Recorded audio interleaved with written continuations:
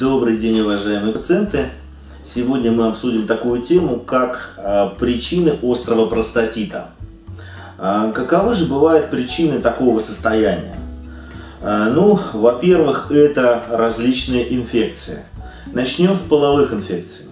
Гонорея, трихомонада, хламидии – это наиболее частые причины половых инфекций при недавнем заражении.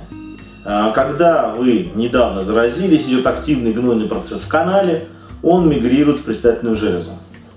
Вторая часть – это бактерии, не относящиеся к половым инфекциям, такие как стафилококк, стриптококк, кишечная палочка, клипсиелла и другие. То есть основной вообще а, причиной острого простатита у мужчин бывают различные инфекции. А, в ряде случаев это также трихомониаз, а, который не совсем относится к бактериям, а относится к простейшим но относятся к инфекциям, передаваемым половым путем. Как же эти инфекции поступают в предстательную железу, э, вызывая острый простатит? Ну, во-первых, это э, постепенное поднятие вверх, сначала в уретру, затем в предстательную железу. Это происходит наиболее часто как раз с половыми инфекциями.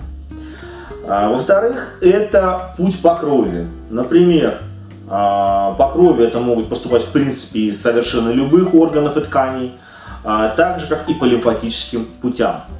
Ну и, наконец, контактный путь, когда органы лежат рядом. Например, воспаление прямой кишки вполне может механически передать ну, те же самые кишечные бактерии в предстательную железу. Например, какой-то абсцесс клетчатки также может дать воспаление контактно, э, какое-то бактериальное воспаление непосредственно в предстательную железу. Э, есть также факторы, без сомнения, которые сопутствуют вот этому вот э, острому простатиту. Дело в том, что есть ведь и состояние, когда имеется какое-то воспаление изначально, но воспаление в простате оно не вызывает, например, только в уретре. Значит, что это вообще такое? Какие факторы?